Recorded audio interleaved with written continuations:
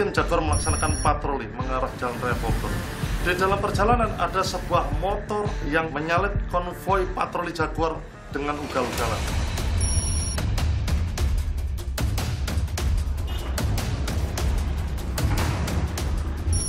Kamu kenapa? Udah, udah, udah, udah. udah. Kamu kenapa? ah? Eh, kamu kenapa? Mau pulang kok di pelan-pelan apa? ah? Kenapa pelan-pelan aja kok? Hah? Kela kelakuanmu kok kayak begitu? Udah ketahuan kita polisi. Lu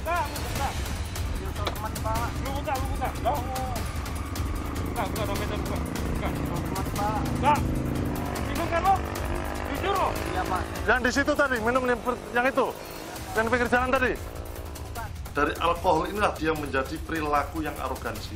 Ugal-ugalan dalam memakai kendaraan bermotor. Liatin, lu liatin, lu liatin. Lu liatin, lu liat. Iya, Pak. Apa ini? Dari bapak saya, Pak. Buka, buka, buka. Apa itu? Apa itu? Buka. Cuma ini, Pak, surat. Cuma surat, Pak. Iya. Bukan. Surat apa jimat? Ini buat bapak saya keselamatan, Pak.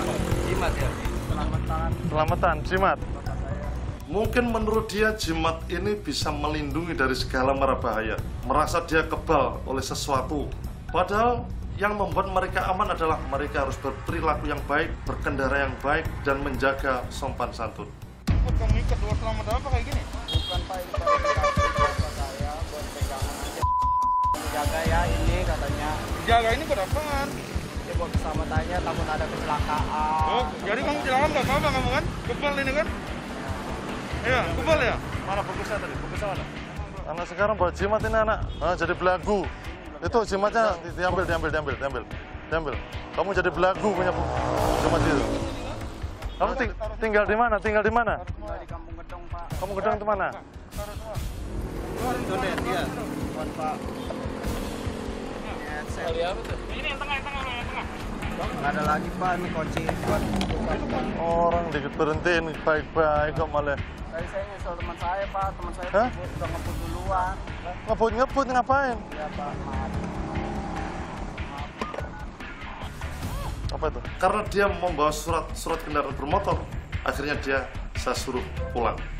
Ingat nih, ya jaga ketertiban, bukan soal arogansi. Siap, Pak. Minum tiap malam.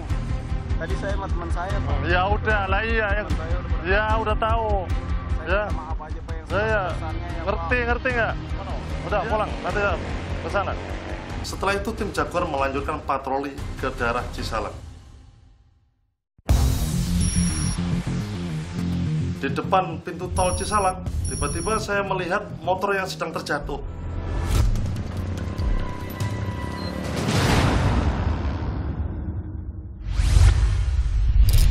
Udah sering kamu ya melakukan ini ya? Tiga orang. Berapa kali?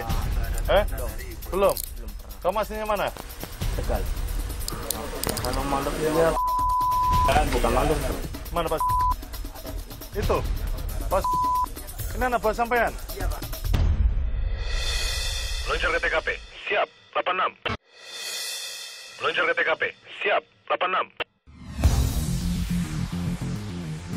Di depan pintu tol Cisalak, tiba-tiba saya melihat motor yang sedang terjatuh.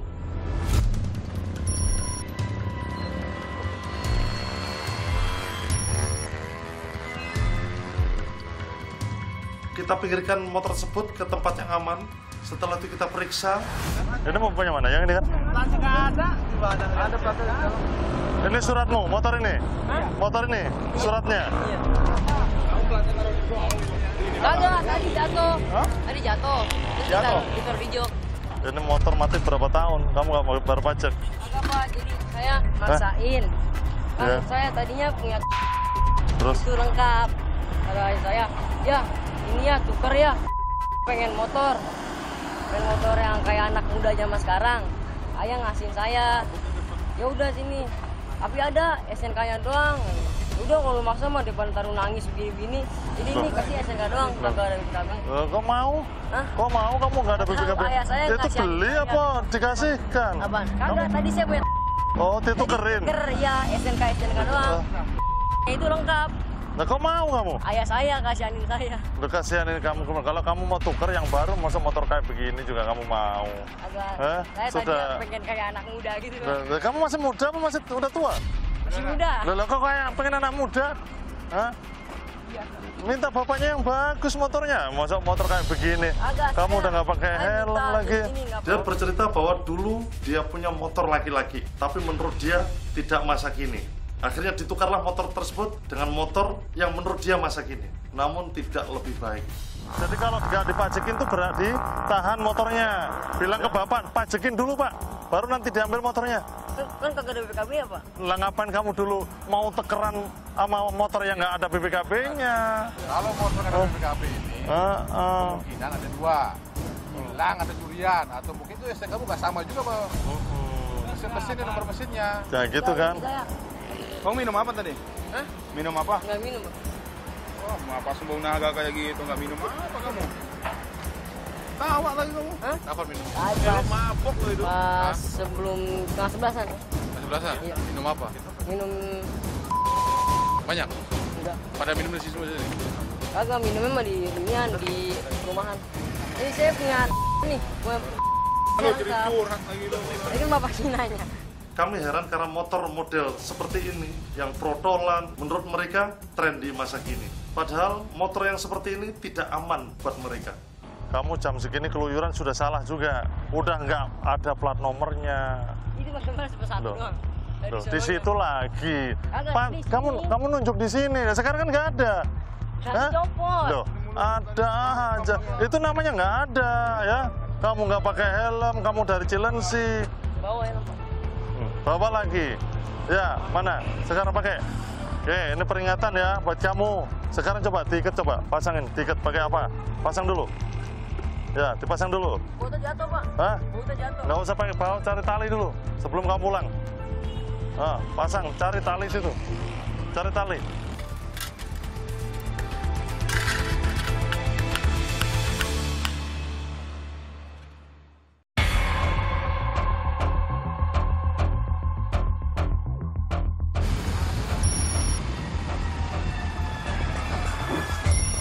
Aduh, Ya pak. Ya pak. Mau ke mana ini? Sesampai di perumahan GDC, seperti biasa saya temukan anak muda-mudi nongkrong Dari mana? Baru kampung baru. Iya. Ngopi lagi ngopi. Jam berapa? Iya, iya pak. Baru mau pulang. udah sekarang pulang, sekarang pulang. Udah, cepat. Besok ketemu lagi sini saya jewerin semua kamu. Ya pak, pak, pak. Kamu jam jam berapa ini? Ini cewek kamu itu kamu? Teman pak. Teman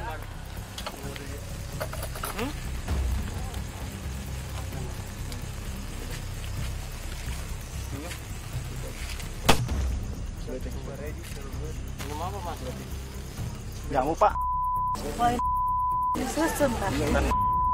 Apa pantas berpacaran di luar rumah di lokasi yang sepi? Sabar ya, sabar. Udah jamnya udah bukan buat nongkrong lagi. Seharusnya apabila mereka saling menyayangi, berkumpullah di tengah keluarga, diketahui oleh ayah ibunya. Jam sudah menunjukkan 4 pagi dan tiba-tiba ada panggilan dari Polsek Pancoran Mas bahwa di satu lokasi perumahan telah diamankan seorang pencuri. Ternyata masuk ke belakang rumah tadi. Belum masuk rumah. Sudah. udah masuk, udah masuk, udah. Malah udah ambil lagi HP saya, cuman saya topok pakai itu jemuran, jemuran jatuh jatuh. Oh dia udah ambil HP. Udah ngambil HP. Kayaknya lebih baik dia supaya apa biar tidak percobaan itu HP-nya nanti kita jadi barang bukti ya bu ya terus dia bawa bawa apa dia Nggak tahu, apa. Bawa senjata? jatuh ya kan ah kedorong Jatuh, Ah. dia juga terus kabur kabur, terjatuh ke rumah sebelah. rumah dua Ini masanya udah ke ketiga. Iya, iya, Yang dua udah hilang HP-nya. lima satu jagor satu. Lepaskan aja pak. Lepaskan aja. Memang dia seorang pencuri namun dia juga manusia. Harkat martabatnya harus kita junjung tinggi. Dia harus kita perlalukan dengan baik. Akhirnya saya buka borgolnya saya suruh dia berdiri. Ketahuannya karena saya lagi bangun, ya saya eh, dia mau ngambil HP langsung dia bangun sayanya bangun gitu Dia apa kayak ngelawan gitu nggak tahu. nggak ada perlawanan malah dia lari ketakutan gitu. saya uber Identitas tadi udah digeledah ya? Atau coba lihat aja pak. Ada kan itu? Kan dompet. Udah kasih, kamu tinggal di mana? Kamu kamu tinggal sama siapa di sana? Dari proyek. Kamu sakit batu atau gimana? Udah sering kamu ya melakukan ini ya? Berapa kali? Eh? Belum? Kamu aslinya mana? Tegal. Kalau malu dia bukan malu. Mana Pak? Itu? Pas Ini anak buah sampean? Ternyata mereka adalah pekerja kuli bangunan di lokasi tersebut. Dihadirkan juga mandornya. Kelakuannya bener nggak sih? Kalau selama ini Pak, tahu saya karena saya itu kan kalau malam itu sukanya mancing Pak. Nah itu. Itu aja Pak, tahu saya Pak. Dari Apa pernah dengar-dengar dia sering keluar malam terus melakukan pencurian? kalau pencurian belum mancing. Belum. Lah saya terus, mancing aja. lah terus ini tadi kok kenapa kamu melakukan pencurian? Enggak Pak. Eh? Oh. Nah, itu Dia seorang pekerja kuli bangunan. Mungkin gajinya tidak seberapa. Akhirnya mengikuti rasa pengen memiliki sesuatu, dia lakukanlah mencuri. Padahal nilai yang dicuri tidak seberapa. Kita nggak ingat, tapi kita nggak tahu bakal ada polisi. Ya bukan karena harus ada polisi lah mas, kalau mau surat-surat itu wajib. Nggak ada duit ini, nggak bisa duit. Emang saya nanya duit, saya kan nanya surat-surat.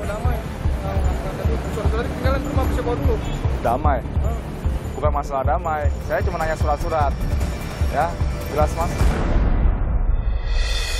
Meluncur ke TKP. Siap. 86.